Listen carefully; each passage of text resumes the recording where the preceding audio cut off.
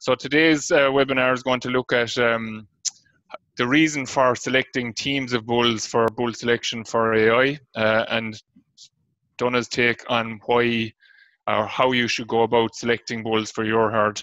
And then we're going to have Richie O'Brien, who's the uh, coordinator of the Teagasc Glanbia Joint Programme with the last 10 or more years, uh, looking after um, the monitor farms across the Glanbia territory. And he's going to discuss what he has done with the previous monitor farmers in terms of their selection of bulls and how that has worked for them and what he's looking at in terms of selection criteria for his current group of monitor farmers across the territory. So um, we'll just check now if we have Donagh available yet. He needs a password, he said. So we might just uh, actually start there with Richie. So so just while we get him in, I, um, I need the password. Yeah, I just start with you there, Rich. So. Okay, thanks, George. Uh, basically, I'm just going to talk. I'm just going to talk about the. Uh, in the past, I've been working with monitor farmers, as Stuart said, for the last ten years, and their experience uh, of using sire advice and using teams of bulls. And I suppose the initial, you know, you have to works. Uh, we've had loads of on-farm research and research in Moorepark and other areas that shows that it does work. And I just throw up this slide. I'm just just one, I'm going to use one slide, and I'm just throwing up this slide basically to see why we use the sire advice, why we're putting so much emphasis on the whole area of bull selection and, and picking a good team of bulls. And this is the system that we have base here. This is the element. This is a slide I got from Brendan Horan a number of years ago, and I put this up to farmers. I use a lot of farm walks and that. It's basically look at aligning grass growth to our breeding decisions. And basically, we're now in the middle of April where we have cows. If I have a 90% of my cows calve in six weeks, so basically 50% calve maybe by the 15th of February. So those cows are up to peak appetite when grass is growing at its peak. So rather than making more silage now and having a flatter curve, we've all heard about curves now, we want both to peak together. We want grass growth to peak together and we want cow appetites to peak together. And that's really why the whole time we talk about a 90%, uh, it might sound simple, 90% six week calving rate, but that, that's the decisions. I put that slide up to kind of emphasize to myself the whole time, emphasize to, to farmers that, that that's why we're making decision and that's why we're putting a big emphasis on fertility uh, at this stage. So really we want cows a peak appetite, peak yield, and getting all that yield from grass rather than imported feed. And that's the idea of that slide. Uh, in my experience over the years, it's really and, and talking to farmers in the last couple of days is really just trust the figures. It gets the job done. When I use the sire advice, the job is done. Don't during the breeding season. Then I don't really need to be thinking about uh, the decisions about what bulls I pick and that. It's done. It goes to the handheld uh, for the AI, and he has all that information then that he can u- utilize. And I suppose, given the, the current situation with COVID, it works extremely well that there's less contact with the AI technician. He has all the uh, information on his handheld.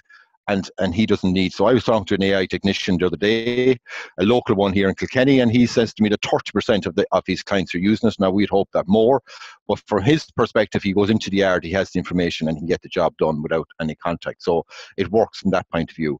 We know there's gain. I'm going to show that in a minute. But I think the biggest thing, and I'll say it at the end as well, it gets the job done, and, and you need to trust the figures from the point of view. The science is there. Donagh will talk about the science of this later, but the science is there and it does work.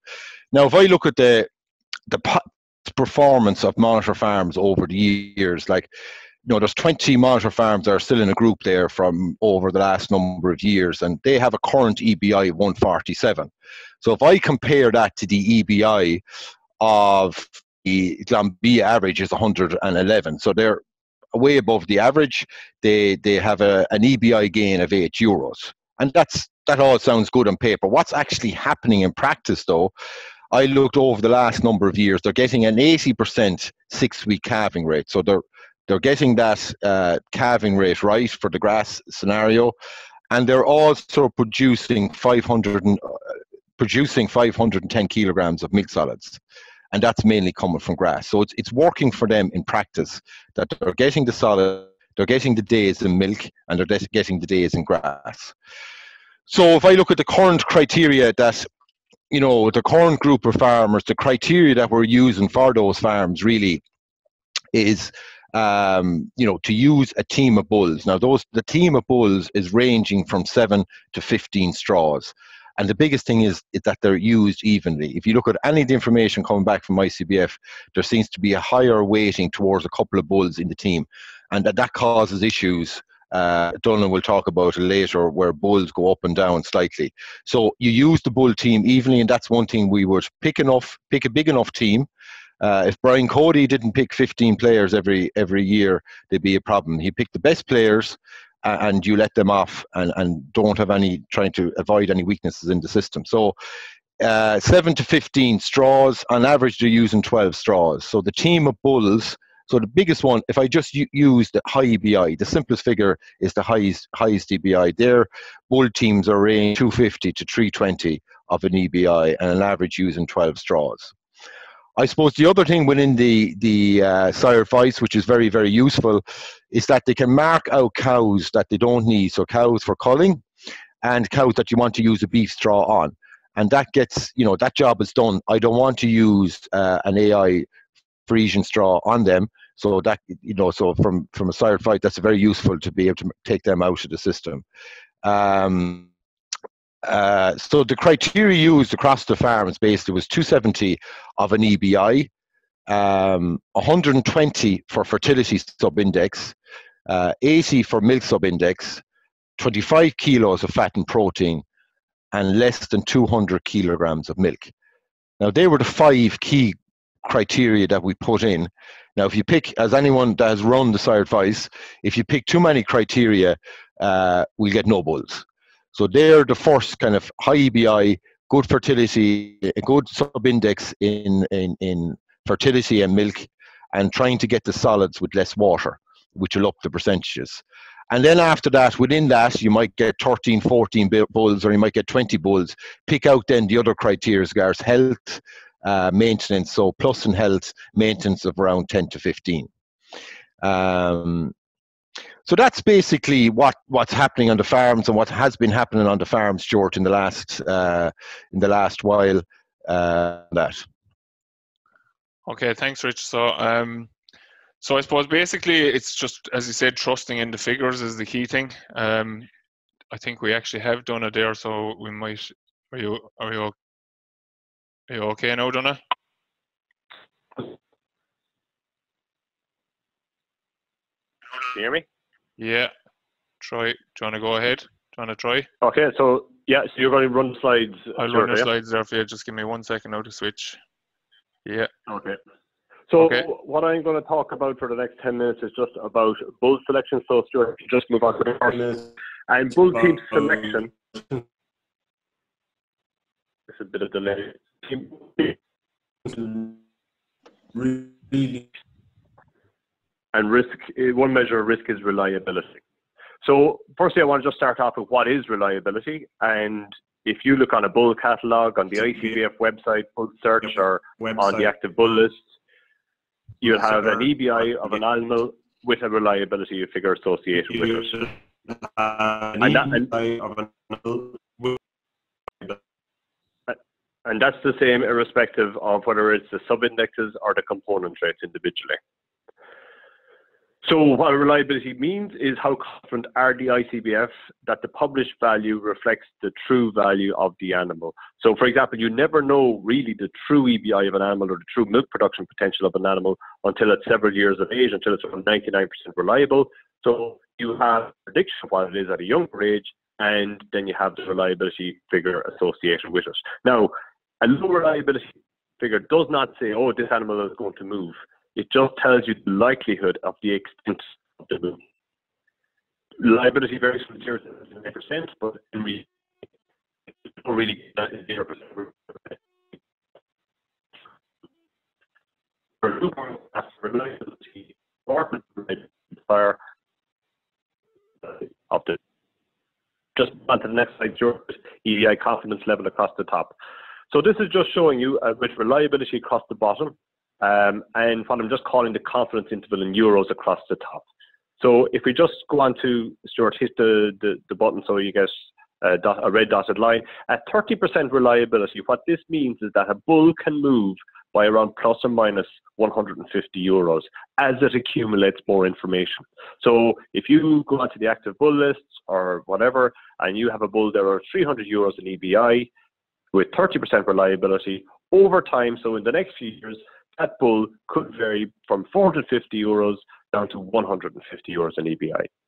If you hit on the next animation, Stuart, some, a green line should come on at another line at 90%. So people might think at 90% reliable bull is solid and not going to move. While this graph is clearly showing you that is the bull can move plus or minus 50 euros. Still, even at 90% reliability. So this notion that genomic bulls move a lot and high reliability bulls don't move is not necessarily true. And this is the same irrespective of species. So beef, sheep, cattle, ducks, it does make a difference, and irrespective of country, although the extent of the variability does differ. But even with high reliability, there can still be some movement. So just moving on to the slide of the basis, basics of, of bull teams, as I get, as what I said is really, for me, it's about minimizing the risk. And nobody uh, to date, I don't think, has ever phoned me to tell me that the bull has gone up. They always just phone me to tell me that the bull has gone down. And really, what you don't want to happen is when you have a bull team that all the bulls go down. So I'm just giving you an, an illustration here. It's just like flipping a coin or whatever. If you have two bulls, right, the bull can either go up or go down. So if you choose two bulls, in red there you see two U's, so the bull, two bulls went up. The one beside the bull went up or a bull went down. The next one went down or a bull went up. And in the blue you have the two bulls went down. So there's four different variations and there's a 25% chance that two bulls will go down. And that's what you don't want. So you pick a bull team and the two of them go down. So essentially you're unlucky 25% of the, with two bulls. Now if you had a three bull team, the chances of, of the three bulls going down has halved. And I've just given you the maths. Besides, you can do whatever you want. You can do two to the power of three, two to the power of four, to the power of five if you have five bulls team. But if you look at the four bull team example, you only have a 6% chance that all the bulls will drop. Right? Of course, also have 6% that all the bulls will go as well. Now, the, the, the, weird thing or the unique thing in a way, I guess, about high EBI bulls is they already are at the top of their game. So it's very hard for a, a, an extremely high EB, EBI bull to go up a lot.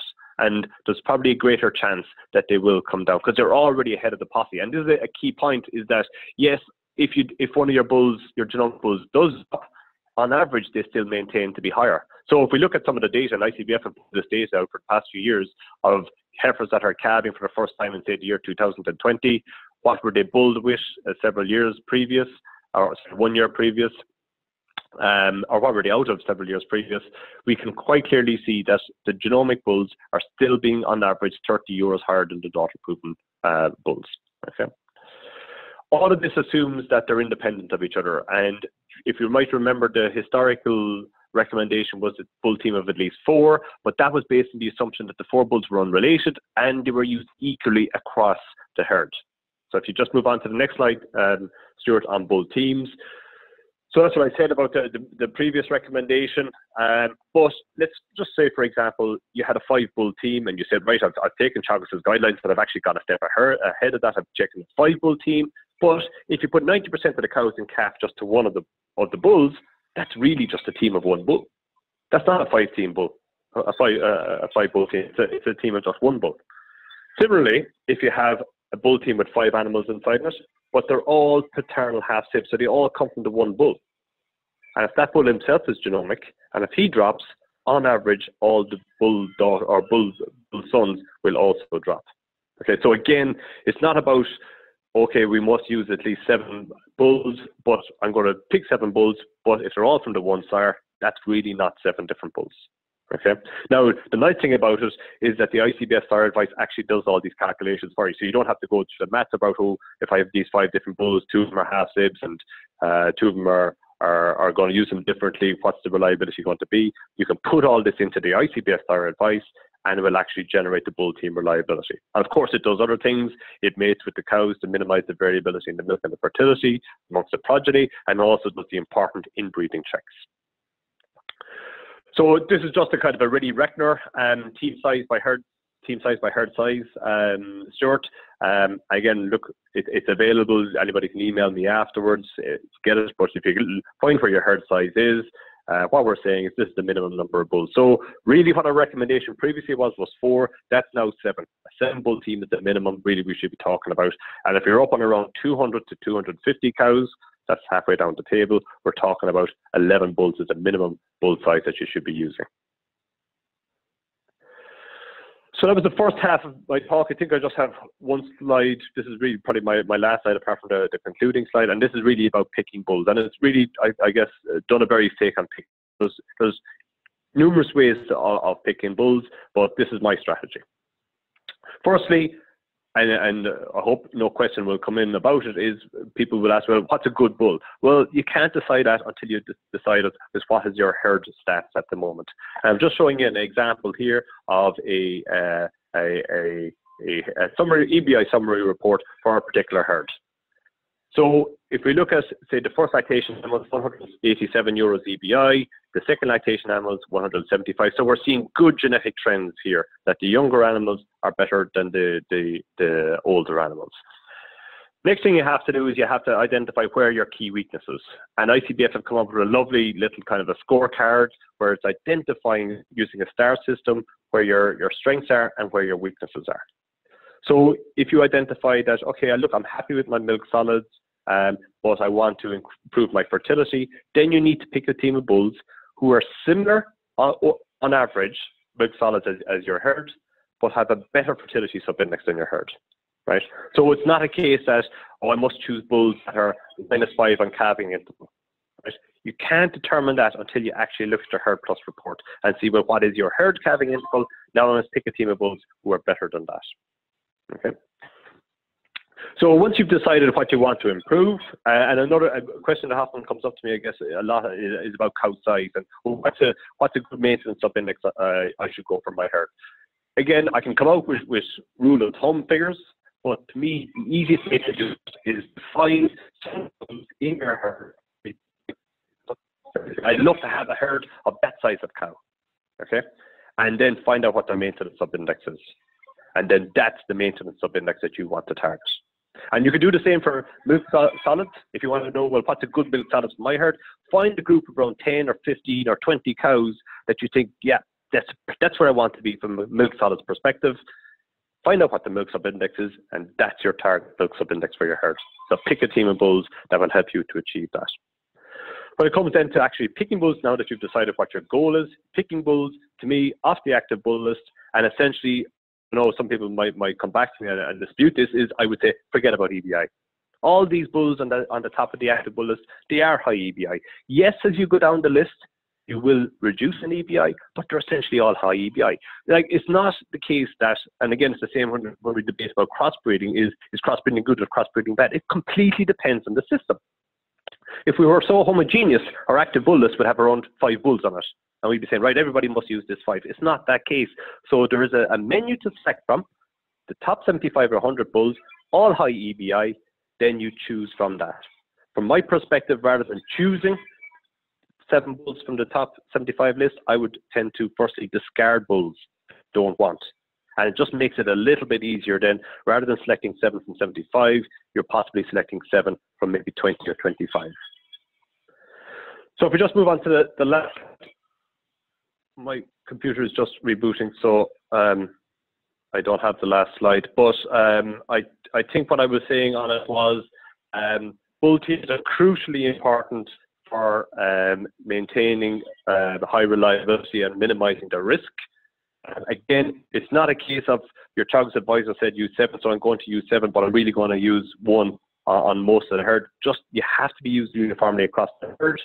Um, ICBF's, the, the SIRE advice, it does hard work. Again, like the EBI, the SIRE advice is a tool. It's not the be all and end all. And again, if you have the time, one of the things I like to say is, well, pick your bulls, put them into SIRE advice, get the answers, but do it yourself as well on the side, and then mix and match and see, okay, how did SIRE advice do this mating while I did this mating? And sometimes SIRE advice will be right, and sometimes SIRE advice will be wrong. But you've essentially done done it twice to get to the to the real answer. Uh, the second half of the talk was really about sire selection. Um, and again, it comes back what is, what is your breeding goal? you need to have your herd plus report to see the breeding goal. Then that's your where your status is. Now, what do I want to do to achieve that, or where do I want to go, and then what are the bulls I need to achieve that. So I think that's it, Stuart. Hopefully you could you could hear me. Yeah, we got you pretty good there for most of it anyway. Just um, I suppose you might just go back over the, the, the just the piece that you were saying about the maintenance index you just dropped out there. Okay. Uh, just that just on picking the number of cows that you I know what you're saying from uh, discussing it with you prior, but we just lost you just Yeah. at that point. Okay, so a question I often get asked is about uh, what maintenance subindex do I need for a 550 kilo cow, or what maintenance subindex do I need for a, a given cow, and I, and I can come out with the values, and we can talk about them later if you want, uh, what they are on average. But for me, the easiest thing is to go on into your herd, find 10 to 15 to 20 cows that you just like the size of. Right. If, if is, I'm not saying that this is what you should be doing, but if, if your preference is on from a perspective, find out how the size of, them, go into the ICBF, find out what their average maintenance is. And that's the maintenance of subindex you need to achieve that type of a cow size. So then you your bulls to get you to that. So if your maintenance subindex is above that, right, means your cows are, are smaller, then you might want to use bulls who have a, a maintenance subindex which is less than your herd, and they will bring them down to where you want to be. And I'm not sure if you got it. The same thing applies for all the traits. Milk solids is another. People say, well, what milk solids do I do I need? And I don't want Yeah. them too high and I don't want them too low. Well, find the bull, find the cows that you like milk solids yield of. Get their milk solid subindex from the ICBF. That's where you. That's your target. That's That's where you want to get your herd to. Exactly. Exactly. Yeah. Okay, so just um, because of the technical difficulties at the start, I failed to remind people there that there's a Q&A uh, option on the on the Zoom program that you can use to send in some questions. Uh, so I'm just going to start with one question here from Lisa Ring for you, Donagh. Um, any comment on team size for heifers, which is probably one of the contributing factors with the last number of years to this over reliance on um, individual bulls, or the like Richie would have said earlier that there's a there tends to be more of uh, a particular bull is sire to a lot of the daughters that we have on the ground, possibly because of overuse in heifers. So just comment on the team size for the heifers, please. Yeah. So, so firstly, um, you would be slow, Lisa, to use low reliability bulls on heifers, especially on smaller heifers. And look, I, I, I hate putting rules on it, but I know people like like to get actual numbers. What we what we'd really be talking about is is uh, probably a minimum reliability of 70 to 80 percent, especially for the smaller heifers reliability, right? Once you use high reliability bulls, then you can kind of relax the the team size a little bit. Now ICBF have have done a lovely little um, uh, addition this year about the risk for, for individual or risk for, for use on heifers. So if I look at the the the the the, the bulls available that are high reliability uh, and the target is 80% and are less than say 5% for calving difficulty. Look, there's around 15, 15 bulls I think available on that list. Uh, they come from a whole range of different star lines. So there is there is no reason why you can't have a decent sized bull team. Um, but of course, there's, there's complexities and there's not a massive amount of heifers. So obviously, if you only have, you know, 10 heifers, it's going to be difficult to probably use seven different bulls uh, on those heifers. But uh, the key point is bull teams is to overcome low reliability, but just be slow on using low reliability bulls for heifers, especially small heifers. Hopefully that answered it.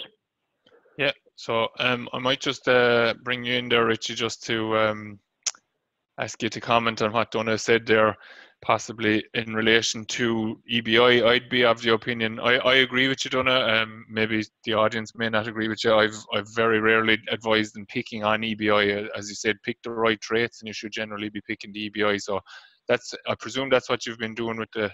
Um, I'm giving you the answer already, Richie, I suppose, but feel free to. Yeah, no. so calving difficulty is like the size of the heifer. So calving difficulty becomes the big the big issue when you're choosing uh, bulls for the for for heifer. So that's that's the big one there. And I think the big one we I I'm using the criteria eighty percent. So the reliability of the figures should be 80% for calving difficulty.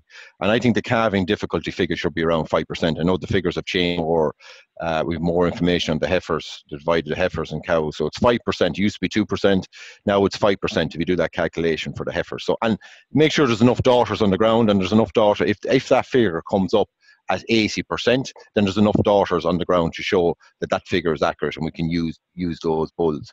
The other side of that is there is, uh, on, on our website, we have uh, uh, teams of bulls that are out there for heifers, um, for smaller heifers and for bigger heifers.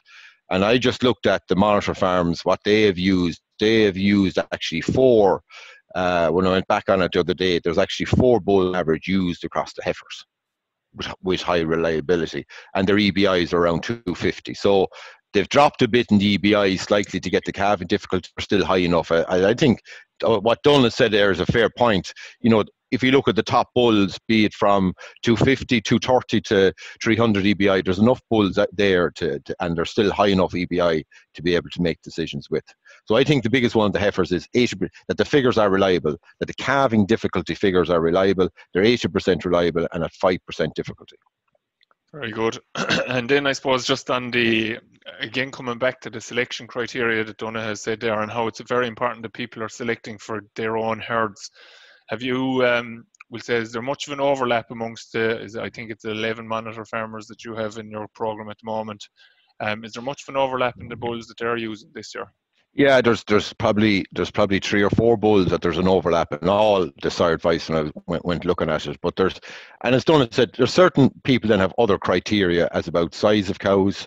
Uh, I remember talking to one the, the guy in, in one of the marshal farms in Wexford, and size of cow was a big thing with him and he was looking for a higher maintenance figure than that. So he wanted a smaller type cow, and he reckoned that some of the bulls were big, and that's a criteria, and that's fair enough. That's a criteria that he set out for his herd that he wanted, and and and that that's and that's fair enough. In a lot of the herds, there was a lot of fertility. I look at the the the EBI reports, there's an awful amount of fertility in most of the farms. There's an awful amount of fertility in in the fertility sub-index. So what they were looking for is bringing the fertility and the solids with it. So that's why we brought the 25 kilograms of fat and protein. And most lads, all the bulls, all the all the um, sire that I look, they all have fat and protein over 25 kilos and less than 200. It's one of the things that we said we can bring the fertility and you can bring the fat and protein solids together without too much water. Very good. Um, so just the questions are beginning to start here now in the Q&A, thankfully. Uh, so Donald Kelly is asking, is there any comment in terms of target fertility sub-index for the Holstein versus the Jerseys? I suppose we'll throw that one to you, Donagh. So, so from my perspective, and a good example is the uh, next gen herd. Um, I believe its fertility subindex is around 100, and we've kind of been consistent enough in that uh, uh, with all the different analysis that we've done. So for a black and white herd, what you'd really want to be hitting at is around 100 euros uh, fertility subindex. Now, just remember, like there, there is a notion there that um, these bulls are, are really some of the bulls are really high in fertility subindex, but also the herds are really low, or some herds are really low in fertility subindex. So you have to take the average of the bulls and the herd to get to where you're going to be. And don't forget, it's only a 20% replacement rate. So, for example, if your fertility subindex of your herd was 50, you might say, okay, I'll use the bull who's 150, and sure, then I'll be at 100. Not true, because you only have a proportion of your heifers coming in, it'll take you, you know, seven, eight, nine years to actually um, in, uh, get your herd up to 100 euros fertility subindex. Another good rule of thumb, based on your average herd, right? If you want to set yourself a target of increasing EBI, your fertility subindex, your milk subindex, whatever, you set yourself a target, which is a, a good enough target of five euros improvement per year. You have to be using a team of bulls who are 70 euros higher than your herd. So again, let's just play that one out. If you have a herd who's got, um, say, a fertility subindex of, or yeah, fertility subindex of 50, you want, you say I'm going to improve it by five euros per year. Then you need to use a team of bulls who are 120 euros this year, 120 uh, fertility subindex, 125 euros fertility subindex next year, etc. Now, if you want to go up at 10 euros per year, so if you want to go from 50 to 100 fertility subindex in five years, you need to be using a team of bulls who are 140 on fertility subindex. So there I'm saying now 190 fertility subindex. Next year, 200 euros fertility subindex. Next year, 210 fertility euros uh, fertility subindex values. Okay, very good. So we just have a seeking a clarification from both of you, and I think uh, I think it's correct anyway. Uh, just double checking that the calving difficulty is less than or at five percent. Correct. Yeah. So the the transformation, if you would have really gone for two two to two point four percent, that's what kind of what we were recommending last year, right? Was the bulls who were less than two percent or less than around two point four percent suitable for heifers, right? As I said, ICBF are doing a lot of the work for you at the moment, but I know some guys like myself like to see the figures. Richie's spot on, eighty percent reliability, and that's now less than five percent. Okay, because what has happened is the calving difficulty genetic evaluations. Previously, we just kind of lashed everything together: the bulls or the cows, the heifers, the beef, and the dairy. What has happened is that now has been separated into four groups. So we have a calving difficulty proof for dairy heifers, a calving difficulty proof for dairy cows. Okay, they want to be looking at the dairy heifer calving difficulty and less than five percent. If and that's for small heifers.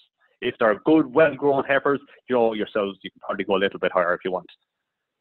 Yeah, um, so I suppose just if people are interested in it, I, I, am of the belief that Siobhan Ring has done um, a podcast with Emma Louise Coffey there on that topic this week, so it should be available if it's not already available. If people want to tune into that as well.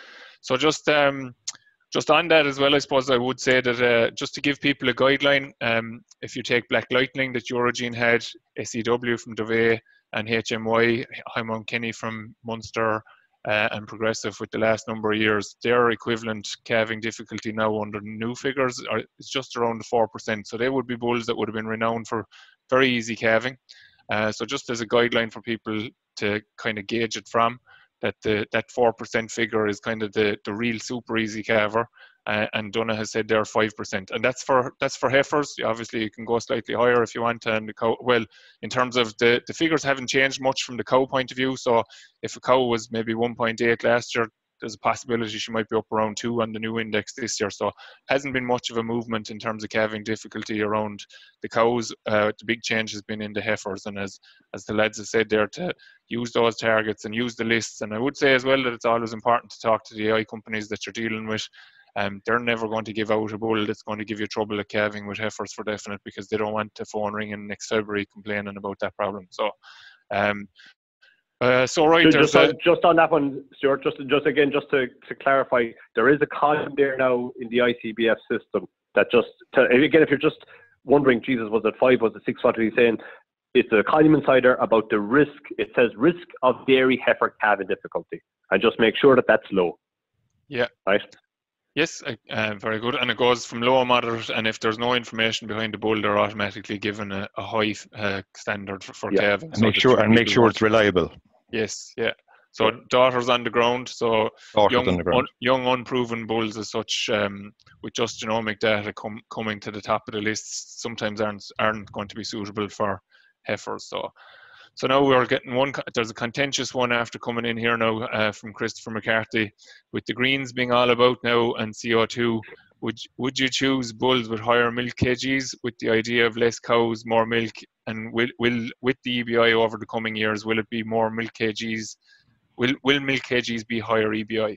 So will it change? Will the focus of the EBI stance change to reflect kind of that kind of potential policy change?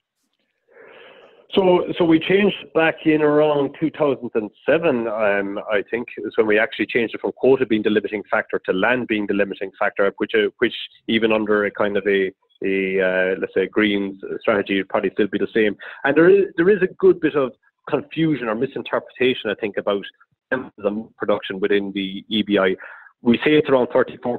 In reality, I think it's probably closer to around 60 to 70% because there are three ways to increase your milk production per cow. And this is crucial because at the end of the day, okay, the question came in about milk production per cow. It's, it's going boil down to at the end of the day about profit.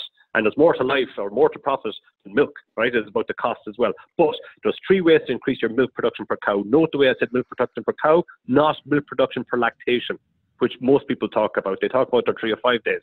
I think we need to move away from that. We need to move to longer lactations and uh, more lactations, right? So three ways. First way, way Christopher said it spot on, increasing your uh, fat and protein kgs. Grant, everybody will accept that.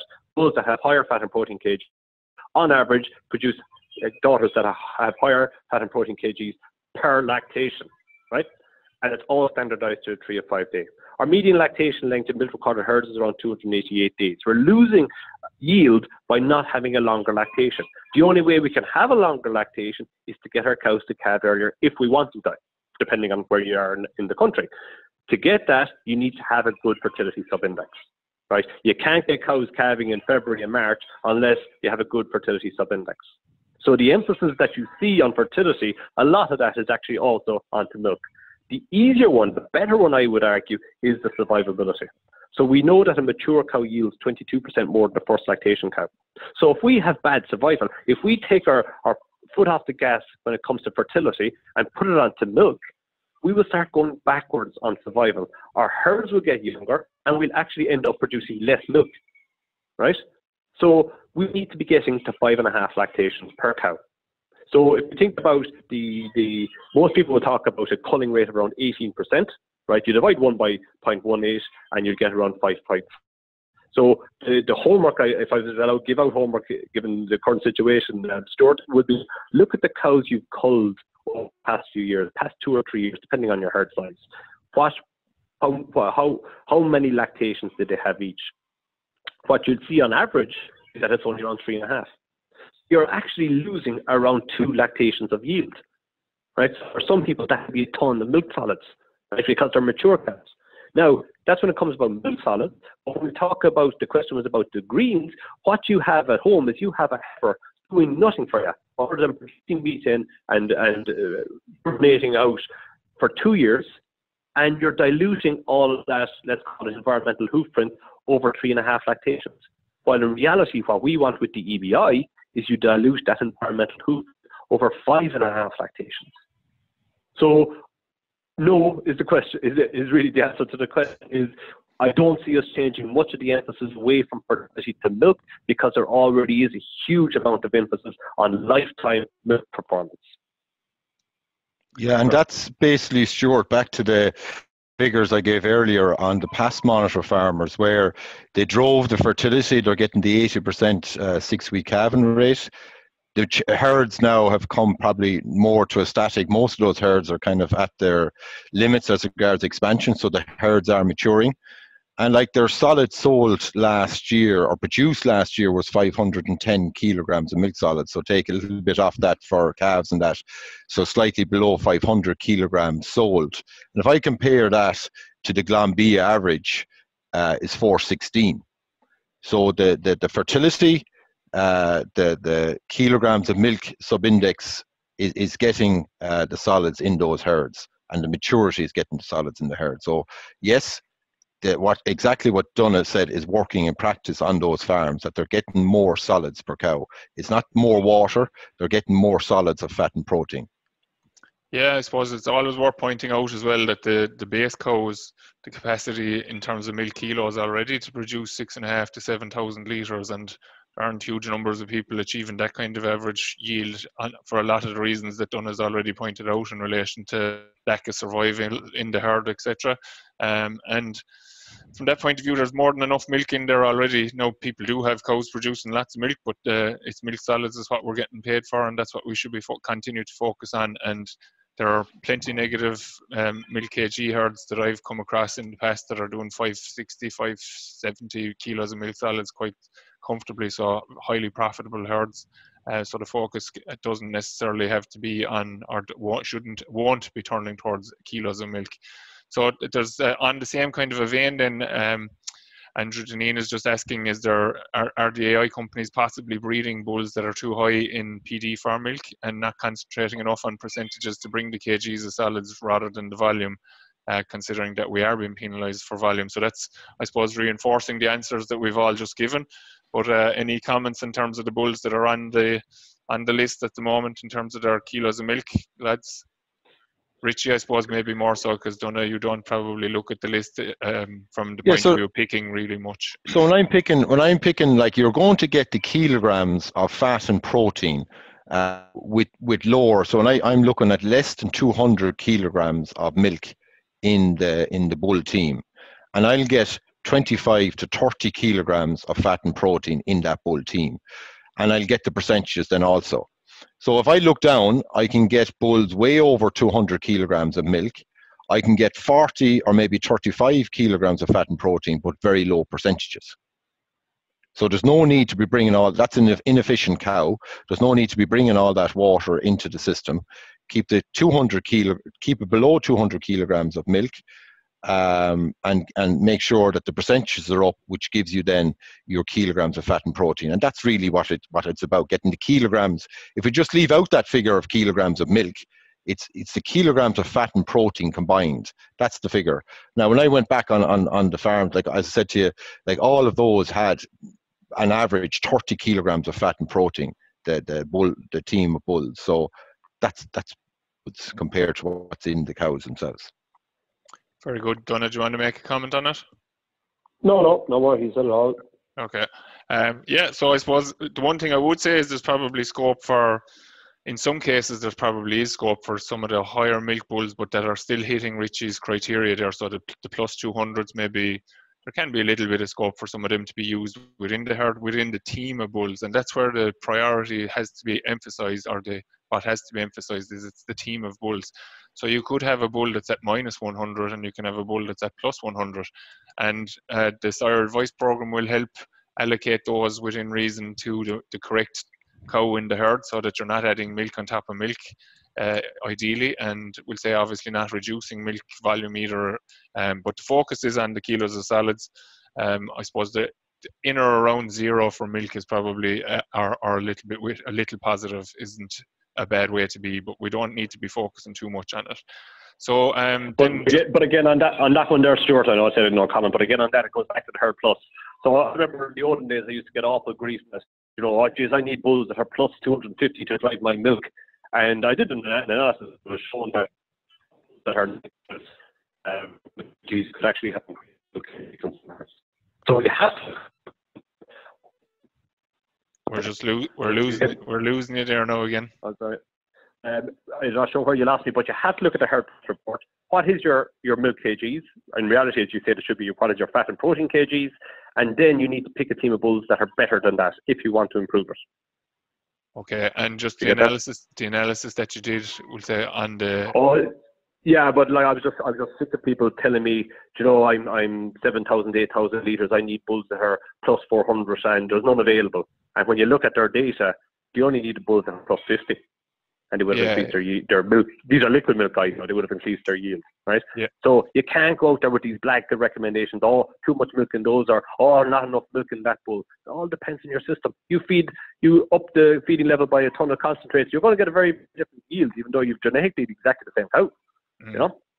Yeah, that's true. It's a, it's good to point out that the it, we're only the genetics are creating the capacity, and management can either under or over deliver on Mm. that capacity too. So, um, so just uh, David Finley's asking. Then I suppose this one maybe pointed towards you initially, Donagh, I suppose, and uh, then maybe Richie, maybe if you have any comment from the monitor program, any advice on using Cow's Own Worth and now with selecting cows that you might not want to breed replacements from.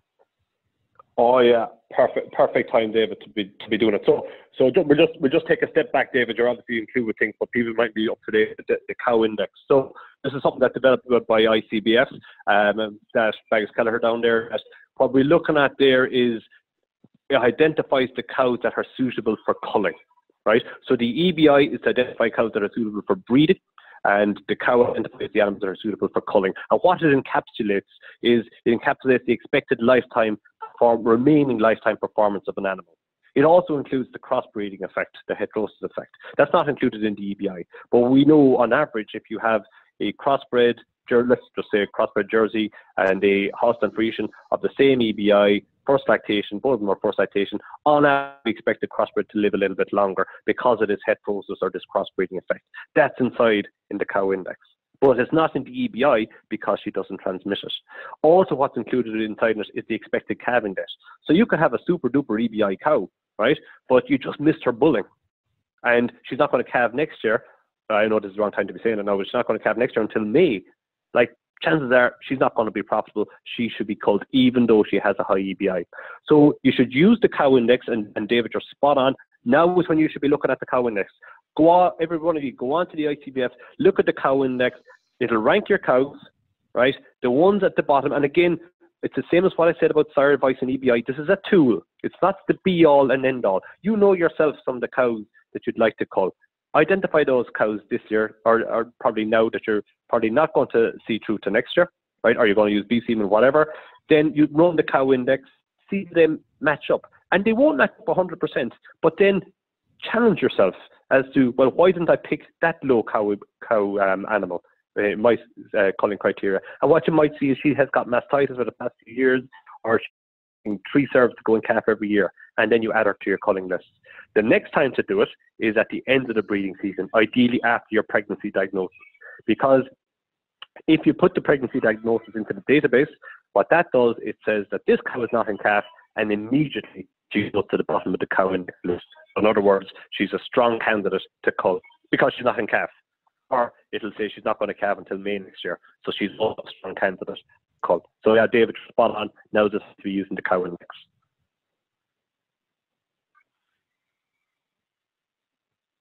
Hello? You're gone, Stuart. Sorry. I thought it'd be after, after Randy No, it's- outrageous. No, it's, it, it, I was. I just had two people trying to break into me there at the moment, at, so I had to go on mute there for a second. So, um, just have you any comment, Richie? I suppose in terms of um, what using cow with the monitor farmers. Yeah, and I listen, and and again, yeah, I'm agreeing with. But I suppose from a, a practical point of view, I think sometimes we can overcomplicate. I think the f- first one I'm looking at is the bulls. I think in, at ground level, if we can get the team of bulls right, I think the cows themselves automatically cull themselves. And I said they're at the bottom of the list anyway. As Donagh said, if you look at the list, the high cell count cows, the slow milkers, the ones that are late calvers, they're the ones that the lads are not going to use. They're not going to put uh, uh, AI straws onto uh, free breeder replacements off of. So they're kind of they're automatically picked anyway at the start at the start of the breeding season. The cow, obviously, the the the, the cow wort is is something that is a tool that can be used, but uh, the cows, I think a lot of those cows now are identified uh, at the start of the breeding season automatically. Okay. So again, this one is kind of feeding off the, the last question as well. So this is the last question here, and then I have one, one more to put to. Um, to get the best fertile cows out of your own herd, should you breed replacements out of the first three weeks of breeding only? So uh, to, I, I can't fully remember the question, the actual wording of the question that you said, short, but that is very good practice um, unless you have shockers in there because it's not about having uh, genetically good fertility. It's also about having them, the heifers born good and early so you can grow them up right mature size. Because you, you can like genetically you can have a lovely heifer uh, from a fertility perspective, but if she's at the wrong size of calving, she's going to be really hard to get in calf. So yes, I, I, I think apart from the few odd howlers, and again, this is where the cow index could be really, really useful. You should really, I believe, be back to feed your heifers from the first uh, cows that come in calf. And, and it's kind of like what Richie said, in a way, inherently, the high fertility cows will come bulling early on in the breeding season, assuming that you have a strict calving day as well, strict calving season. Yeah. Yeah, so and, in practice, Stuart, I see on the ground that, far, that that the herds that are producing those big solids, we talk about 550 kilograms of solids, they over the years. Now, this is uh, over time. The selection. Once I keep uh, uh, breeding my heifers after the first three weeks, and I do that w- over time, it's an automatic selection that my heifers over time will always be better. That all, and, and that's and that has uh, been proven on the ground when you look at herds that have produced uh, a lot of solids on the ground. The heifers are up to big weights, uh, they're up to the right weights, and as heifers, then they produce good solids as heifers, and when they get to second calves, then they're able to last into the system. So the survivability of those heifers long term then is good because they're big enough at the first day at, at, at breeding. Uh, and as, as first calvers, then they're good and strong. They produce and they last longer in the system. So that first three weeks thing, I think it's essential. And on the ground, that has worked very well for people that have just used heifers um, just bred their heifers in the first three weeks. Yeah.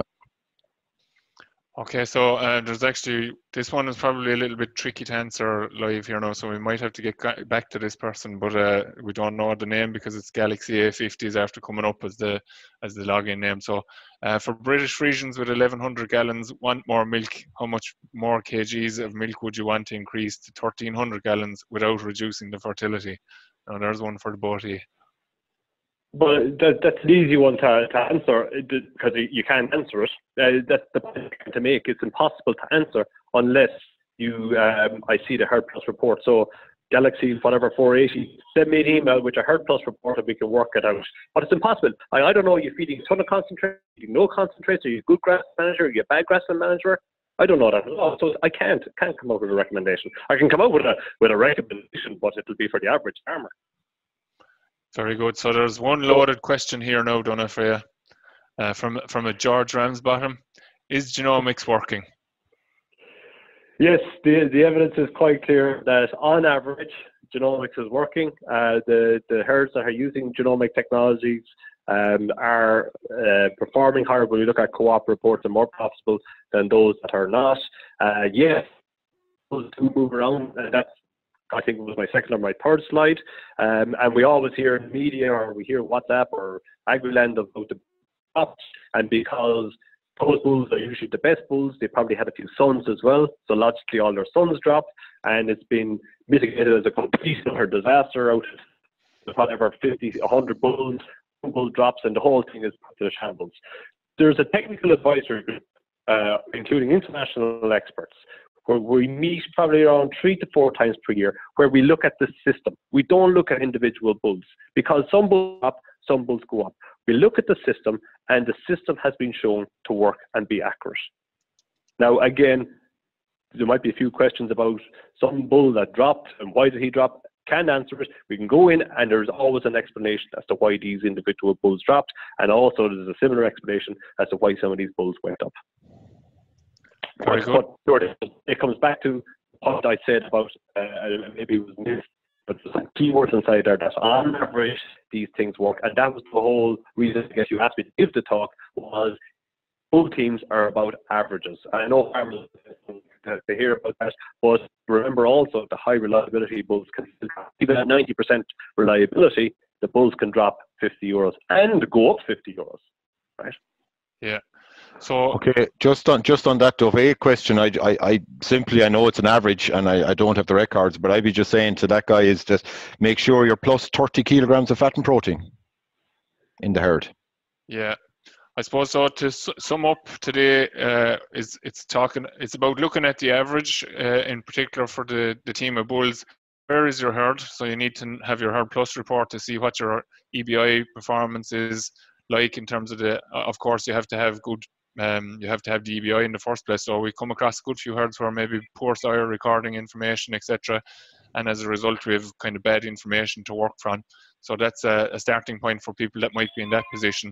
But people that have good information on their herds in terms of their EBI report uh, should be trying to select on the basis of what strengths and weaknesses they have there. Obviously, if you have good strengths in fertility and so forth, it allows you maybe uh, a little bit of scope in, in terms of the range that you use there. Uh, but, but for the most part, most people are going to have to concentrate on milk kilos of solids, as Richie has said there, and target to have that 25 kilos of, a, of an average across the team of bulls that um, that are going to be used. And then again, just to re-emphasize what Donagh said, it's the team of bulls is very important. So yes, there's some fantastic bulls out there, top of the list, and everybody wants to be using what's the best. Uh, but maybe there's been a mis uh, misguidance in the last number of years. The top, the Kilfeacle Pivotal is the top bull on the EBI list at the moment. He may not actually be suitable for your herd because it may not be the focus of what you're using. Uh, maybe it's the number two bull, maybe it's the number three bull is the best bull on the list for your herd. So it's very important that people take ownership of their breeding situation and have the conversations with either their advisors or their breeding advisors uh, to try and drive that herd forward because uh, exactly as Richie has said there, when you look back at the groups of monitor farmers who have adopted this, uh, it doesn't have to be just the monitor farmers, but just looking at it, having focused on that group of farmers, they are beginning to really realize the benefits of that investment in their genetics and the investment in time that is required around the time of AI. And I suppose it's just timely to point out for, that all the AI companies in the current circumstances, if we were in a normal situation, we'd be doing these meetings on a farm probably. So we're doing them here online because of the COVID 19 situation. And the AI companies have worked very hard uh, with the last number of weeks to try and put in place situations that may, will help them to continue their AI service throughout this difficult time. So uh, we spoke about it somewhat yesterday with Jim White as well in terms of how he's going to do it. People to be organised, and as Richie said, 30% of, uh, the technician that he was talking to of his clients had uh, sire advice done. We should really be aiming to have that at a higher level in order to make it a, a, bit easier for the technicians as well as ourselves, taking away the decisions of what kind of bowl should I be using on a day-to-day basis, have it done in advance and get the job out of the way. So um, I think we'll leave it at that. We're just coming to 11 o'clock. Just to remind you that all of our webinars have been recorded and will be available on the Teagasc website. The two from Monday and Tuesday are already available, and today's one will also be available probably this evening or tomorrow. And then again, that we're back again tomorrow with uh, Siobhan Ring um, from ICBF and Noreen McHugh from uh, Teagasc to discuss the DBI uh, and calving difficulty stuff as well. So we'd like you to join us again if you can at um, 10 o'clock tomorrow morning. Apologies for the issues. The broadband in County Waterford seems to be a, a bit of a problem, uh, but sure, look, we can't, we can't do much about it. Uh, and thanks to Richie and thanks to Donagh. Donagh, I'd say might might have a few beads of sweat on his brow in terms of trying to get on the call there at the start so thanks for putting for to get on, Donagh, and thanks for your time, and thank you, thank you, Richie, as well for your time.